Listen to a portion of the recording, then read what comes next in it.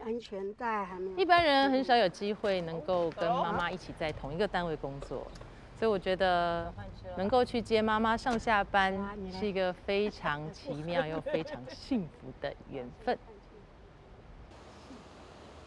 早安，嗨，OK，现在什么情形？下车，下车啊！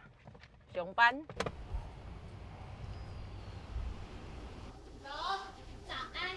我不是从小学的哦，那所以没有幼功嘛。那在这个武功方面呢，其实一直以来都还蛮吃力的哦。那时候妈妈一直不希望我进这一行嘛，所以我就绕绕绕绕就绕得很远这样子啊。我就去跟杨丽花杨阿姨学了一阵子的歌仔戏。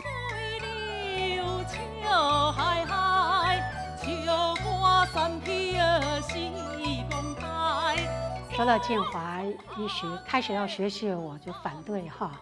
当妈妈的一定会心疼女儿啦，因为自己这一路走过来练功啊，受了这些苦啊，就是因为建华那个时候已经大学毕业了啊，他才学戏，那这个腰腿都硬了，根本就也没办法练习，他也没有幼功。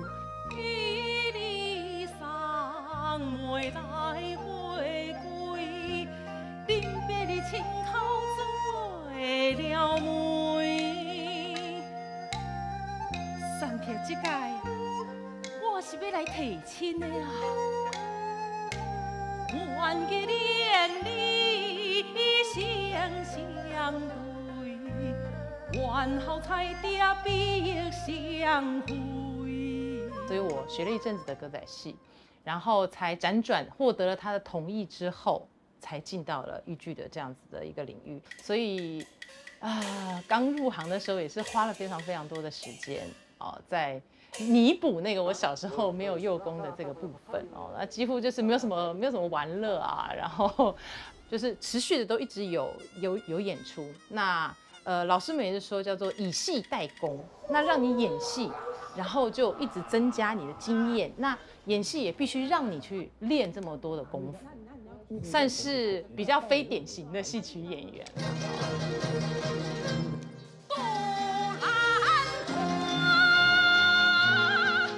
那因为我是唱生角，那生角的话呢，最常碰到的就是两种鞋子，一种叫做厚底，另外一种叫做云头。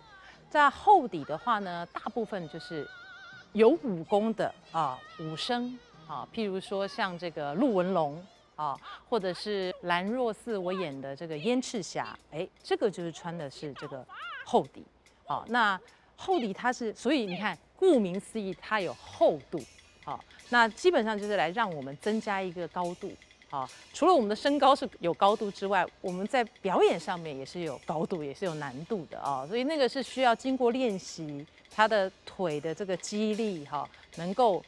支撑好，然后我们在舞台上那个平衡感要很够，哦，那才能够去驾驭。那另外的话就是刚刚说到的云头，啊，云头当然它是纹身来穿了啊，武生基本上穿不到什么云头了啊，这个就一定是读书人啊。那一样它是有厚度的，呃，那因为我大部分唱文戏居多哦，所以呢，哎，我跟云头比较常相遇了。那另外就是说云头上面虽然呢它不是打武戏。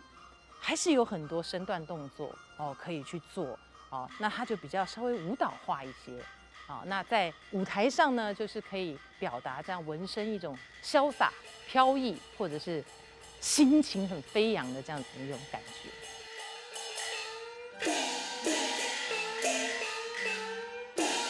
然后在进剧团之前呢，那我跟妹妹有成立一个小剧团，哈，叫做奇巧剧团。所以在奇巧剧团里面，我们就玩很多，玩很大，这样子一一个跨界嘛，哈。那事实上也呼应了这个台湾的这个多元社会的这样子一个文化环境。